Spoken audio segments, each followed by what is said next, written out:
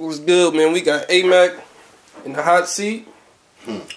It's been a minute since uh we sat down and got bro and the motherfuckers in the interview. How you been, bro? All is well, my G. All is well.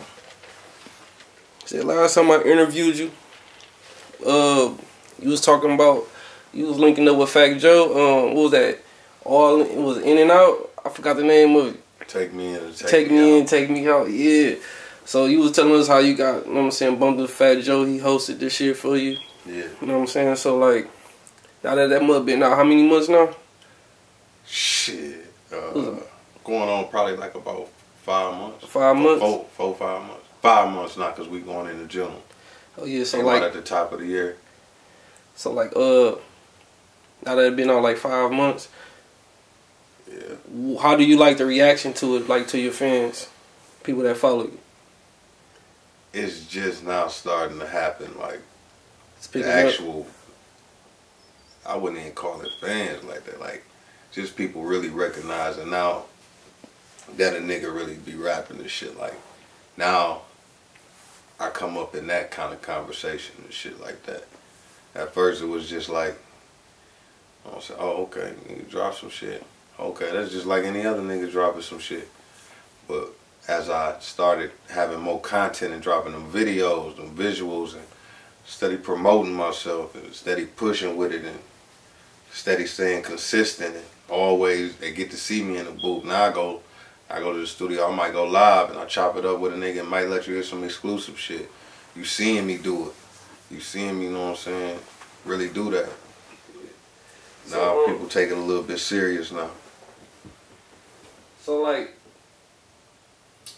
Tell us about um your reaction when people found out. They're like, oh shit, Fat Joe hosting this nigga tape. Like when this shit dropped down and he on the he all through the mixtape. You know what I'm saying? You hear his voice all over the songs and shit. Like, is it a different type of um energy you getting from people now that you fucking with like an icon like Fat Joe? I think it was more of a surprise. Like a lot of niggas was telling me shit like that ain't that ain't uh, that ain't normal for work from where we from. You know what I'm saying? Where we at in Saginaw, Michigan, type deal to have somebody really. You know what I'm saying? Because he did when he did that sit down in his living room and he personally shout, shouted me out and shit like that. Like that's that that's that official shit. That that's love right That Nigga ain't got to do that. You know what I'm saying? Share nigga on the story and shit, all that. That that's cool, being recognized, but like anybody can really, you know what I'm saying, probably get a hold of a nigga and shoot him some bread and a nigga throw you on his story or whatever. But when a nigga sit down and had have an actual recording video and all he talking about is you, like nigga, that's that's that's next level. Like yeah, that's that's the shit I like right there. That's I need that type of energy. Yeah, I so like so like um once it dropped, like what was um what was he doing with that as far as the uh, mixtape when it dropped? Or was it an album?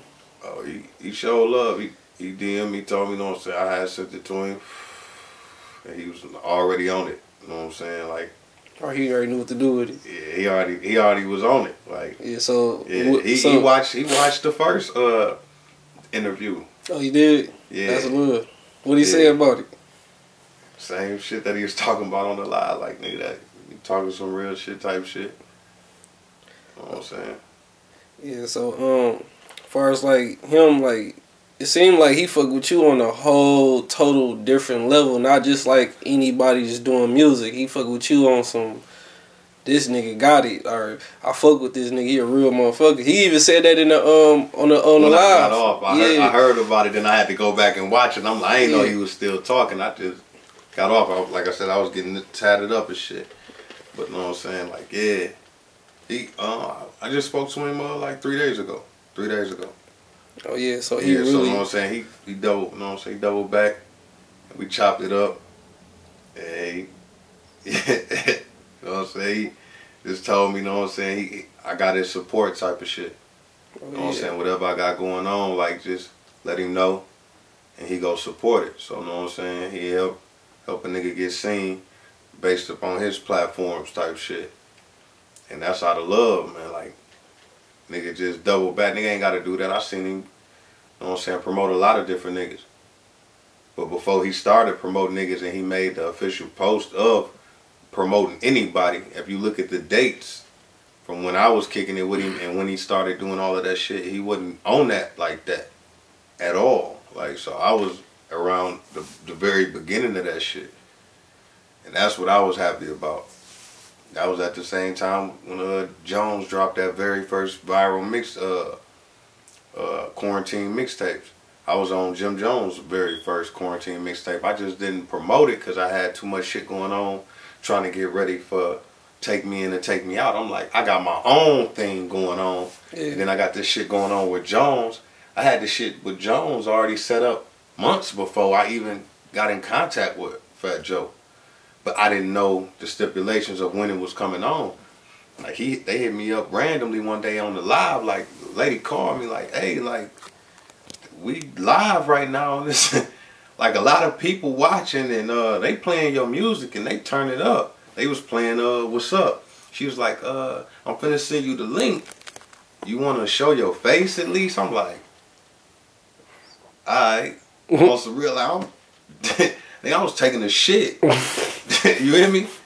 Like, look down, like, like, like you know what I'm saying? And I, I got to go to the bathroom, wash my hands and shit coming there. I move my, uh, move some things off the, uh, the, the dining room table and shit. And I got the link from old girl and I jumped on the live. It's everybody in there, the girls dancing. And they had, he had like three different hosts. They was all women and they on the live. And I didn't even get a chance, like I, I was upset because I didn't even get a chance to promote it to the people that know me, my family, the people that support me type shit. So I'm in there dolo. Everybody else got their people from their cities and everything in there. I'm on the live. And they listening to what's up. It's almost at the end of the song. And they like, hey, Mack, how you feel? Like, you on the first ever uh, Quarantine Studios mixtape. You know what I'm saying? How you feel? I'm like, shit. Normal. I feel I feel good. You know what I'm saying? Shout out to Jim Jones. Shout out to Capone. That's that's his man's and shit. Like I talked to Capone. So I'm just like shit. I fuck with everything they doing. Tell Jones I appreciate him and everything. And I don't know if I messed the vibe up or nothing, but I'm like shit. They dropped his quarantine uh, underground uh, mixtape, the first ever uh, underground mixtape as far as for underground artists with a major artist on the same day that Take Me In and Take Me Out came out. So in in my mind, all I could tell them was, hey, yeah, I fuck with Jones, woo woo, and show my love up front. And I'm like, hey, but I just dropped Take Me In and Take Me. I'm on there promoting my shit. Hell yeah. but but the song that that was on his uh the Quarantine Studios tape, you know what I'm saying, was What's Up, which is on my actual project. You know what I'm saying? Uh, he just promoted it through that too. So I was like, shit, I showed my love, but like, hey, I'm on promo for Take Me In and Take Me Out right now. You know what I'm saying? I appreciate y'all.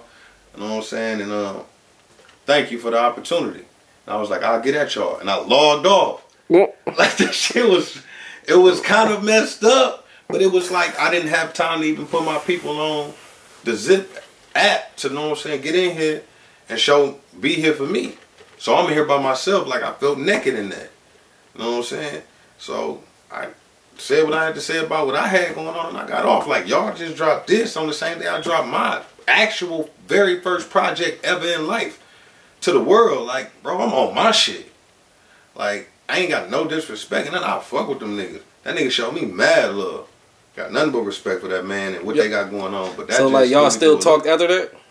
I, I just spoke to Capone a couple times. Oh yeah, so yeah, definitely. I just spoke to Capone a couple times. All right, yeah. So it was just making sure with no hard feelings.